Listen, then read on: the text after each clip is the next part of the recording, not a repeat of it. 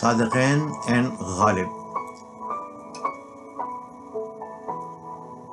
صادقین اور Ghalib. This is a video presented by Sadequain foundation U S A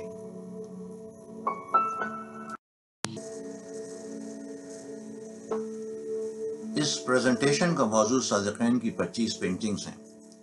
جو صادقین نے nineteen sixty nine میں غالب کی سینٹنری کے موقع پر غالب کے پچیس منتخب اشعار کو تصویر کے قالب میں ڈھال کر بنائی۔ ان پینٹنگز کے علاوہ صادقین نے پچیس اشعار کو اپنے ہاتھ سے تحریر بھی کیا۔ ان پچیس پینٹنگز اور پچیس اشعار کی پہلی نمائش غالب لائبریری کراچی میں نائنٹین سکسٹی نائن میں منعقد ہوئی۔ اس کے کچھ ہی عرصے کے بعد ان پینٹنگز کا انجام وہی ہوا جو صادقین کے زیادہ تر کام کا انجام ہوا ہے۔ یعنی صادقین نے یہ پینٹنگز اپنی بانٹ دی اور لوگ اٹھا کر لے گئے اور ان کا کہیں پراپر کیٹلاگ نہیں ہوا، کوئی پراپر اسکالسٹک کتاب میں ان کے اوپر انالیسز نہیں ہوا۔ خوش قسمتی سے صادقین نے اپنی زندگی میں نائنٹین سکسٹی نائن میں ایک کیٹلاگ چھپا لیا تھا، جو یہ اوریجنل کیٹلاگ ہے جو صادقین نے چھپایا تھا۔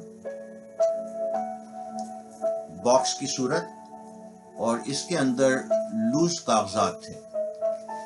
لوز کاغذ جس میں اشعار لکھے ہوئے تھے اور یہ فولڈر تھا، دو صفحات۔ جس کو اگر کھولیں تو یہ پینٹنگ تھی۔ تو اس طرح کے پچیس فولڈرز اس باکس کے اندر تھے۔ اس کیٹلاگ کے علاوہ اگر یہ پچیس پینٹنگز اور پچیس اشعار کہیں کیٹلاگ ہوئے تو دو ہزار دس میں صادقین فاؤنڈیشن کی کتاب mystic expressions by Sadequain an odyssey to exaltation with Ghalib, Iqbal, Faiz and Sadequain in paintings کے بننے کے تقریباً باون سال کے بعد، آج اگر کچھ بچی کچی تصویریں اگر ملیں گی تو لاہور کے ایک سرکاری ادارے یا کچھ پینٹنگز اسلام آباد کے ایک سرکاری ادارے میں ملیں گی۔ یہ ضرور ہے کہ کچھ انٹرنیشنل کارپوریشنز اور کچھ بینکوں نے صادقین کی پینٹنگز جو کہ غالب کے اشعار کے اوپر تھیں، وہ اپنی ڈائریز اور کیلنڈرز میں چھپوائیں۔ لیکن اس کے علاوہ کسی مناسب پبلیکیشن میں یہ ایک ساتھ نہیں چھپی۔ تو آئیے غالب کے الفاظ، صادقین کا برش غالب کے اشعار اور صادقین کا کینوس ان کے امتزاج کا پریزنٹیشن دیکھتے ہیں۔ اس پریزنٹیشن کے بیک گراؤنڈ میں ایک مختصر تبصرہ ہے اردو شاعری پر، مختصر تبصرہ ہے اردو غزل پر اور مختصر تبصرہ ہے غالب پر۔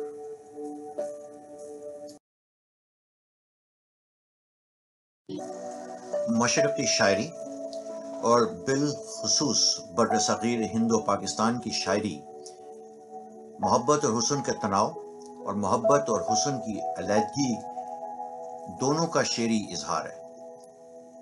یا دوسرے موضوعات میں ہندوستانی اور پاکستانی شاعری، تاریخی واقعات یا نظریات اور فلسفیانہ فکر کے اظہار کی بھی ایک تاریخ رکھتے ہیں۔ بر صغیر کی شاعرانہ اصناف میں سب سے مشہور، سب سے مقبول صنف غزل ہے۔ غزل کے انداز اور مشمولات میں مرکزی موضوعات محبت اور علیحدگی کے غیر معمولی اظہار، یہ کسی ایک بنیادی شاعرانہ صنف ہے جو ہندوستانی، فارسی، عربی تہذیب نے مشرقی دنیا کو پیش کی۔ غزل کا ایک مخصوص ساخت ہے۔ غزل کا ایک مخصوص مزاج ہے۔ اور غزل کا ایک روایتی سب سے مقبول مضمون ہے، جو محبت سے متعلق ہے۔ اور نہ صرف کسی بھی قسم کی محبت، بلکہ خاص طور پر ایک با فریب ایک دل فریب اور ناقابل شکست محبت۔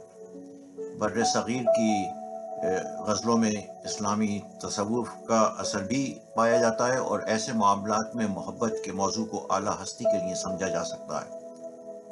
محبت کے تصور کو ہمیشہ ایک ایسے معیار کے طور پر دیکھا جائے جو انسان کو پورا کرے گا، اسے مکمل کرے گا اور اگر اسے حاصل ہو جاتا ہے تو وہ اس کے اعلیٰ درجے کی طرف لے جائے گا۔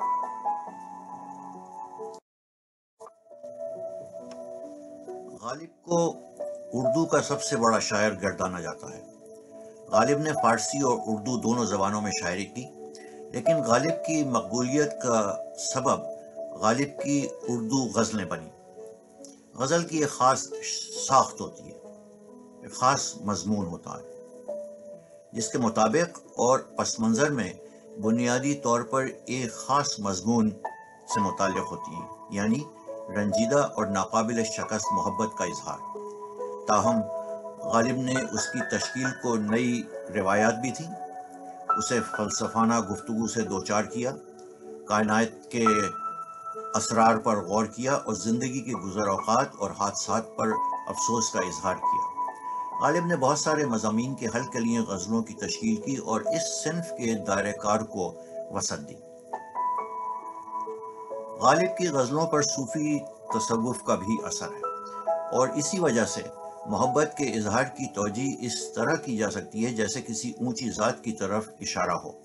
یہ اظہار انسان کو اعلیٰ درجے کی صف میں لے جائے اور روح کو راحت بخشے۔ کلاسیکی غزل کی روایت کو مد نظر رکھتے ہوئے غالب کی بیشتر غزلوں میں، غالب کے اشعار میں محبوب کی صنف سحر انگیز ہے۔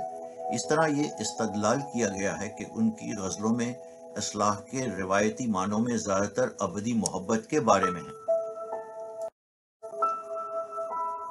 غالب کی بیشتر غزلیں نا امید عاشق کے نقطہ نظر سے لکھی گئی ہیں۔ جس کے بہبوب کو ناقابل رسائی اور ناقابل تصویر پیش کیا گیا۔ اکثر یا تو محبوب محبت کا جواب محبت سے نہیں دیتا یا جواب اتنی بے حصے سے دیتا ہے کہ عاشق کا دل ٹوٹ جاتا ہے۔ دوسرے معاملات میں سماجی رکاوٹیں عشق اور محبت کے درمیان آتی ہیں، تاہم عاشق جذباتی رہتا ہے۔ اس کی تقدیر کو قبول کرتا ہے اور اپنی محبت کو جاری رکھتا ہے۔ ان ناقابل تسخیر محبت کا یہ تناؤ غزل کی دھن کو دلکشی کا محرک فراہم کرتا ہے۔ اسے بعض اوقات محبوب کی مایوس کن صورتحال کو شاعرانہ شدت کو بڑھاوا دینے کے طور پر مبالغہ آمیز تشدد کے ذریعے بھی پیش کیا جاتا ہے، جس کا اظہار محبوب کی آنکھوں کے تیر کے بارے میں توسیع شدہ استعاروں سے کیا جاتا ہے اور محبوب کو حتیٰ کہ قاتل بھی قرار دیا جاتا ہے۔ انحراف کی ایک اور شکل میں غالب اکثر روایتی غزل کو استعاروں سے ہٹ جاتا ہے اور کبھی کبھار پرانی روایتوں پہ سوال بھی اٹھاتا ہے، جس کے نتیجے میں غالب کی رائے تنقیدی سوچ ہو جاتی ہے۔ غالب کے جنت اور جہنم کے وجود سے متعلق سوال اٹھانا۔ مثلا غالب نے ایک مصرے میں کہا ہے کہ ہم کو معلوم ہے جنت کی حقیقت، لیکن ایک اور جگہ کہا ہے، ایسی جنت کا کیا کرے کوئی جس میں لاکھوں برس کی ہورے ہوں؟ تو اسی طرح کی ہجرت، اسی طرح کی ڈائگریس غالب نے اپنی غزلوں میں جگہ جگہ استعمال کی ہیں۔